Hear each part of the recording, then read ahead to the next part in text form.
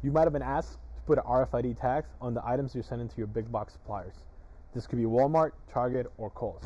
And with that, you might be encountering some issues, such as verifying that your tags are properly GS1 encoded to prevent chargebacks, verifying that you're sending the correct number of items and tags, and verifying that you received the correct number of tags. Hi, my name is Oscar. I'm a developer here at Portable Technology Solutions. We are a leading data capturing solutions company for over 22 years. And we've created an application that allows you to do this with little to no RFID knowledge. We call that app GS1 Verify. And today I will be demoing how easy it is to do this in our MC33 Zebra handheld reader with the application preloaded in. The application has two different modes to scan to validate tags or to scan shipment that is going out to your customers. I'll go through how to validate a tag and show you how quickly it is and how efficient it is now. The first step is to scan a barcode of the item that you're going to verify the tag of. So in this case, we're going to scan the barcode.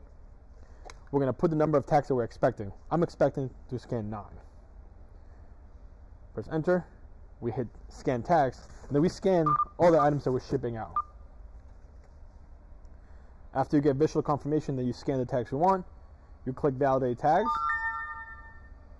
And you'll see in your screen whether there's an error, invalid tags, or you're good to send your data to the cloud. We're going to sync the data to the cloud.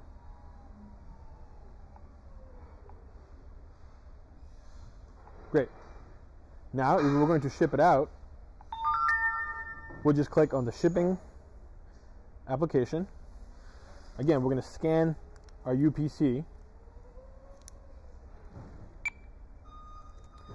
put in our order number, and then place the expected number of tags we're planning to scan. In this case, nine. We're going to hit scan tags again, and we're going to scan the tags. Or in this case, the items that we're shipping out. Validate the number of tags we've scanned, hit validate tags. No errors, record scans, and the data gets synced to the cloud. If you were to find an incorrect tag, you could use the Geiger feature in the applications to find that item or that bad tag and remove it from your shipment to prevent chargebacks. In the next video, you'll see how easy it is by step by step, walking through the application, and also show you how to access the data in the cloud and export it for your own records.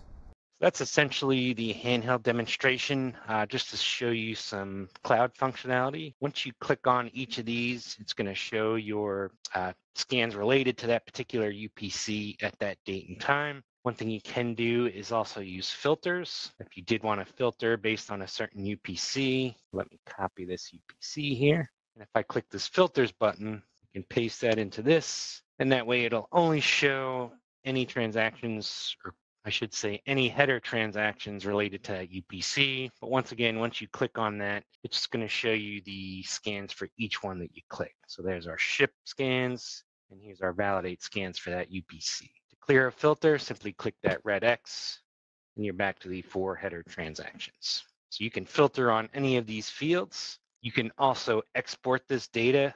So if I were to click export, it's going to create a CSV file can also click export here to create a CSV file.